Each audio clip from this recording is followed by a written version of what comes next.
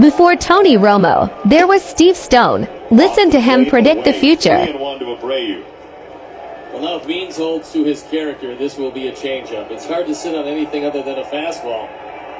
But Jose, if he's looking for a pitch, and like most great power hitters and run producers, they will guess on occasion. At least for one pitch, this is a good time to guess. That's a changeup. We figured it would be forthcoming. Let's see if he can wait back.